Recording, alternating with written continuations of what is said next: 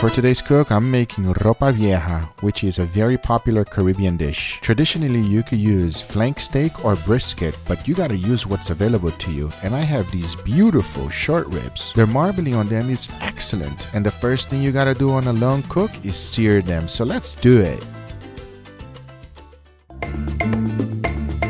Add a little bit of olive oil and let the pan do its magic.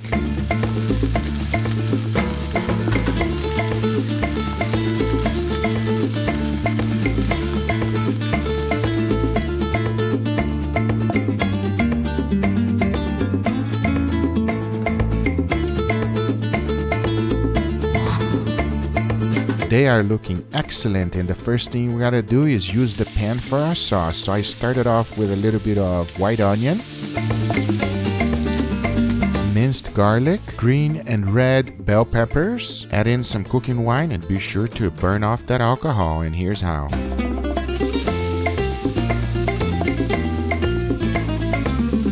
Then we added tomato paste, soy sauce, red wine vinegar, adobo seasoning, oregano, black pepper, salt, sazon seasoning, lime, and remember exact amount in the description down below. Just finish it off with Spanish olives, mix it well, and your sauce is done.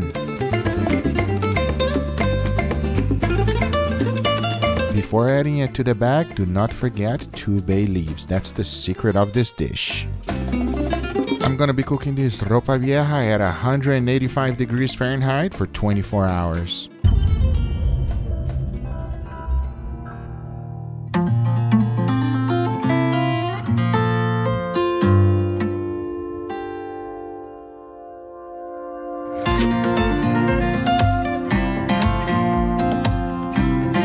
Can see, it's very tender, but it's very important not to discard any of the liquids. Now all there's left to do is remove all the bones and shred it.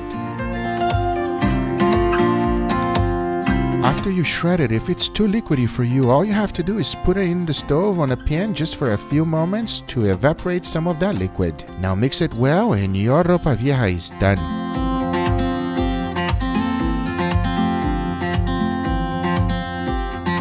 Ropa vieja is one of those dishes that are best the next day, and that's exactly what I'm going to do today. When serving the very next day, all you have to do is heat it up in the oven and be ready to be amazed. Today is one of those days, everybody, that the food tastes a lot better the next day, and it's Cuban food. Are you ready? Cuban food, baby. All right, you should be an expert on this one. Nobody, Definitely. I don't think anyone else can say anything else but you. Are you ready to try it? I, I've, you know, I've done it before. I ate it before, and I ate it really good. So I'm a good judge here. Yes, So I have a high bar to meet here, huh, Ninja? definitely. All right, enough talking. You ready to try it? Let's do it. All right, I want to know your honest opinion. It looks like it's quite hot. And if you guys are wondering, I just put it in the oven for a little bit. Explain to us the meaning of ropa vieja. Oh, That's what we want to know. What's the translation? It means uh, Old, clothes? Old clothes, everybody. That's what you're eating. That's All right, what it Ninja. Put a little bit of the rice. If you guys are interested on learning how to make the rice and tostone, I don't, you don't want the rice. Let me know in the comments below and we're going to make it for you, all right? Go for it, Ninja. Let me know. Let's see, brother. It's hot. Oh, it's hot. It's real hot. Ooh, you're going to burn your mouth. Oh man.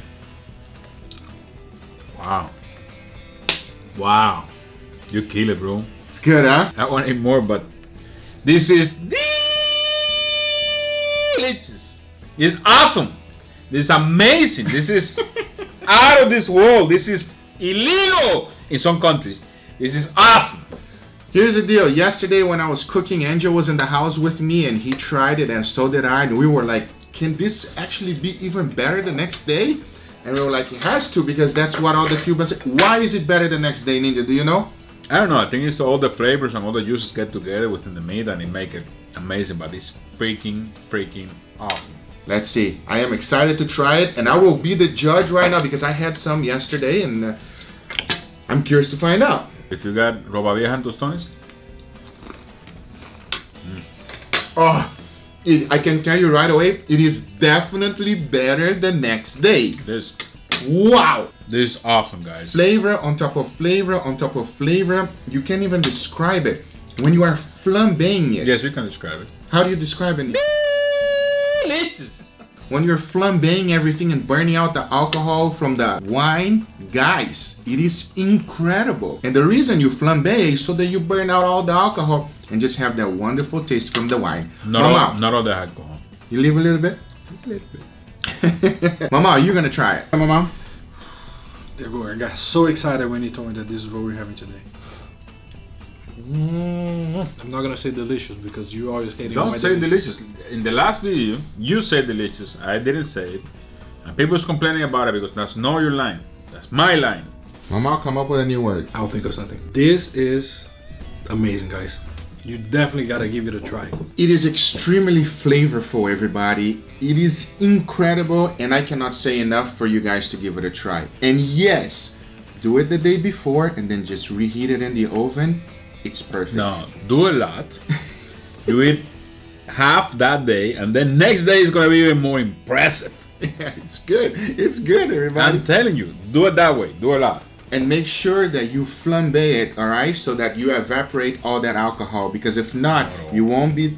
Leave a little bit of alcohol, just a little bit. Leave a little bit of alcohol. When you're flambeing and the alcohol burns all off, it produces that amazing flavor. Because remember, sous vide, concentrate the flavor even more, and leaving it for the next day. Forget about it. All I can say is this is this is the best ropa vieja I ever had. Damn, bro, you had a lot. You Cuban, bro. I eat I ate a lot of ropa vieja in my life. It sounds so weird because we're Brazilian and he's just saying old clothes that he eats a lot of old clothes. That's the name of it. Now next time, vaca frita. Vaca frita. Vaca frita, baby! Woo! Let me know if you guys want to see vaca frita. We're gonna make it happen. Of course you want to see vaca frita. Vaca frita is awesome. If you don't know, vaca frita means fried cow. Yeah, fried cow. So we're gonna fry some cow.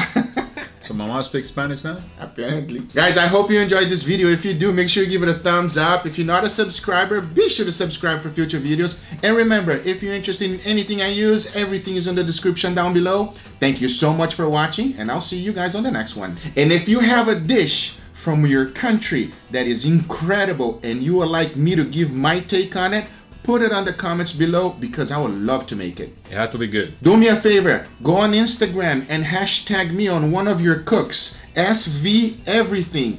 Put it on Instagram. I'm gonna look at it. I'm gonna pick the first one. Don't forget. See you on the next one, everybody. Bye bye. Guys, to make tostones is quite simple. You just press it, double fry it, fry it twice, and that's pretty much it. Now, tostones is not banana. It's not bananas, man. All right, don't go to the supermarket and buy green bananas. It's plantains. I didn't know it was a difference, but apparently there is a difference. And you gotta double Uh, fry it. You just press it down, double fry it, and it is incredible. Not banana. What is it? Plantains, but banana is awesome. Guys, I know a lot of you want me to cook a dish from your country. Make sure you put in the comments below and let me know. I would love to do it. Also, go to Instagram and hashtag me SV everything so that I can see what it is that you want me to cook because I'm gonna pick one from Instagram. Make sure you check it out. What do you mean one? We're gonna pick them all. Pick them all. I love it. Let's see which one first. Don't forget that hashtag and we'll see you guys on the next one. Take it easy, everybody. Bye-bye.